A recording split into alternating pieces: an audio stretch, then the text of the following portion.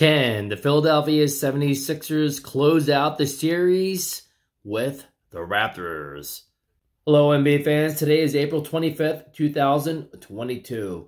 Tonight is Game 5 at the Wells Fargo Center between the Raptors and the Sixers. This past Saturday, the Sixers lose to the Raptors 110 to 102 in Game 4. Pascal Siakam led the Toronto Raptors with 34 points, 8 rebounds, and 5 assists.